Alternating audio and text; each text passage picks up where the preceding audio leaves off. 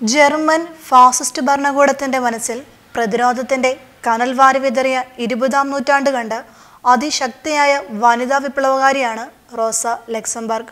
പെൺ പോരാട്ടത്തിന്റെ പര്യായമാണ് റോസ. ലെനിനോടൊപ്പം നിൽക്കുകയും അതേസമയം അദ്ദേഹത്തിന്റെ പല ആശയങ്ങളോടും ശക്തമായി തന്നെ വിയോജിക്കുകയും ചെയ്ത ഒരു പോരാളിയാണ് റോസ. ലെനിന്റെ കേന്ദ്രീകൃത ജനാധിപത്യം എന്ന ആശയത്തോട് ഒട്ടും യോജിച്ചു പോകാൻ കഴിയാതെ സോഷ്യൽ ഡെമോക്രസി എന്ന രാഷ്ട്രീയ പാതയിലൂടെയാണ് അവർ സഞ്ചരിച്ചത്. സ്റ്റാലിനിസ്റ്റുകൾക്ക് അനഭിമതയാകുന്ന രാഷ്ട്രീയ നിലപാടുകൾ സ്വീകരിച്ചപ്പോഴും അടിയുറച്ച കമ്മ്യൂണിസ്റ്റ് വിപ്ലവ ആവേശം ഒട്ടും റോസയിൽ നിന്നും ചോർന്നു പോയിരുന്നില്ല. റോസ ലക്സംബർഗിനെ കമ്മ്യൂണിസ്റ്റ് വിപ്ലവകാരികളിലെ പരുന്ത് എന്നായിരുന്നു ലെനിൻ വിശേഷിപ്പിച്ചത്. ആയിരത്തി എണ്ണൂറ്റി എഴുപത്തി ഒന്ന് മാർച്ച് അഞ്ചിന് റഷ്യൻ നിയന്ത്രണത്തിലുള്ള പോളണ്ടിൽ ജനിച്ച റോസ പതിനഞ്ചാം വയസ്സിൽ പോളിഷ് പ്രൊലിറ്റേറിയൻ പാർട്ടിയിൽ ചേർന്നുകൊണ്ട് രാഷ്ട്രീയ ജീവിതം തുടങ്ങി. റഷ്യൻ യൂണിവേഴ്സിറ്റികളിൽ വനിതകൾക്ക് വിലക്കുണ്ടായിരുന്നതിനാൽ ഉപരിപഠനാർത്ഥം സൂറിച്ചിലേക്ക് പോയ അവർ ഫിലോസഫിയിലും നിയമത്തിലും രാഷ്ട്രീയ സാമ്പത്തിക ശാസ്ത്രത്തിലും ഡോക്ടറേറ്റ് കരസ്ഥമാക്കി. ജർമ്മനിയിൽ പൗരത്വം നേടുവാനായി അവിടുത്തുകാരനായ ഗുസ്തവ് ലൂബെക്കിനെ വിവാഹം ചെയ്തുവെങ്കിലും ആ ബന്ധം അധികനാൾ നീണ്ടു നിന്നില്ല social democratic party of Germany independent social democratic party communist party of Germany തുടങ്ങിയ രാഷ്ട്രീയ സംഘടനകളിൽ അവർ പ്രവർത്തിച്ചു.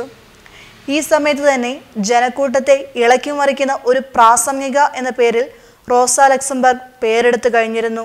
ജനാധിപത്യത്തിനും യുദ്ധവിരുദ്ധ പോരാട്ടങ്ങളുടെയും സമര പരിസരത്തു നിന്നും അടർത്തി മാറ്റിയെടുക്കുവാൻ കഴിയാത്ത ഒരു പ്രതിഭാസമായി റോസ ഇതിനോടകം തന്നെ മാറിക്കഴിഞ്ഞിരുന്നു.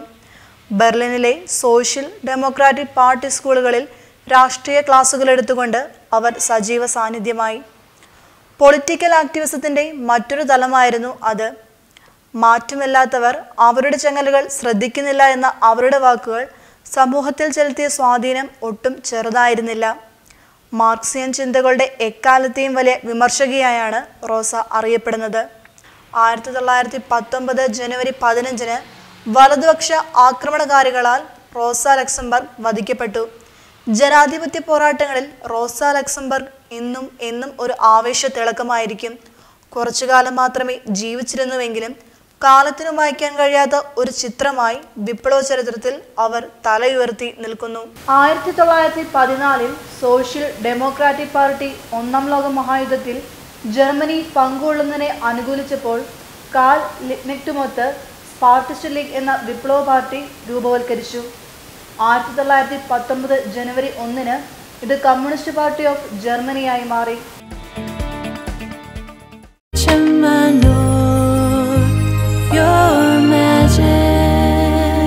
Trusted tradition of 155 years. Chemanur International Jewelers.